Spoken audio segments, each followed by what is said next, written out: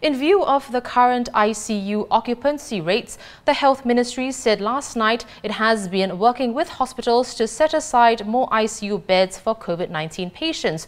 100 more beds will be ready next week. Well, as at last night, there were 360 ICU beds in total. 146 are occupied by COVID-19 patients, with 67 critically ill and 79 under close monitoring. The current overall ICU utilization rate is 79.2%. Professor Dale Fisher is here. He's a senior consultant at NUH's Division of Infectious Diseases. Welcome back to the show, Prof. So 360 ICU beds as at yesterday. Another 100 will be ready next week. With the current wave, Prof, do you foresee that many COVID-19 patients will need intensive care?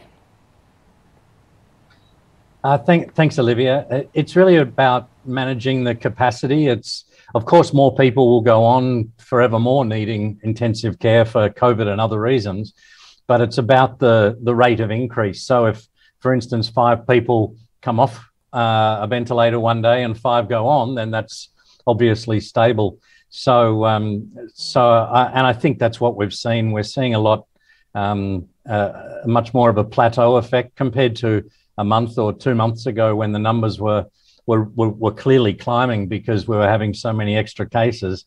Now it's actually much flatter. I think there's very little chance that we'll see, uh, you know, the, the numbers jump by, by 20 very quickly, um, not unless you did something almost reckless with all the restrictions.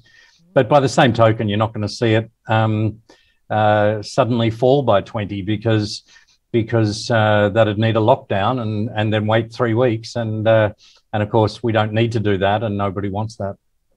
Exactly. Well, most most days this month have had over 3,000 new cases. No, these are high numbers, but relatively stable. And if this continues, Prof, the reproduction rate will not get below 1, which is a key indicator of whether Singapore eases restrictions. But if we don't tighten measures further, which we actually haven't done since September, then how will the R rate be brought lower? So we really uh, need to think about the phases of a surge. So initially, you obviously see a, a steep climb, and then it plateaus off, and and eventually it starts to come down. That, that's what happens. So so you, just because we're sort of turning the corner, we're going onto that plateau doesn't mean we're going to stay at the plateau over the next one, two, four weeks. I don't know. We, we will start to see that come down, and, and there are reasons for that.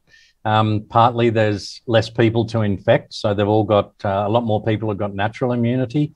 Um, maybe people are being a bit more conservative in their in their exposures.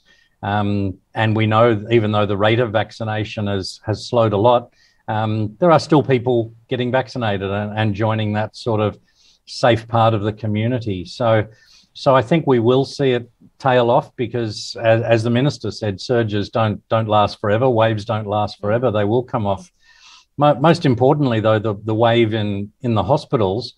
Um, it's still the, the five or six percent of the unvaccinated people. As you know, we're up at about 94% now of, uh, of uh, uh, of fully vaccinated eligible people.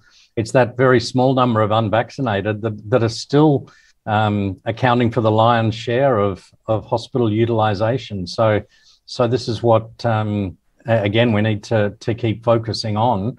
Um, but, but it's also another reason why we will see this, this wave eventually come down, and, and with that, more easing of restrictions.